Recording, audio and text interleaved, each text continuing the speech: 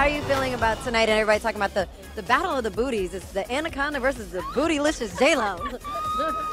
Is that what they're talking about? I'll, I'll tell you, we've been we've been asking anybody who everybody who they're going for, and they're saying the Fly Girl is going to win this one. Is, is that what's going to happen?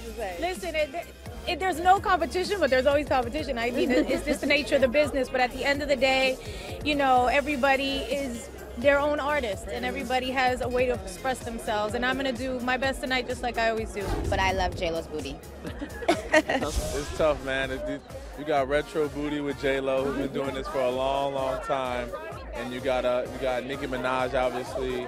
Um, it should it should come down to the wire. But I'm a J I'm a I'm a Jennifer Lopez guy. Her myself. booty is right there. I mean, you it just is, look over is. and just. You know. I'm not gonna look right now. I'm locked into it's this right great there. interview. Me and Nicki have a great relationship. Um, she's hardworking as hell.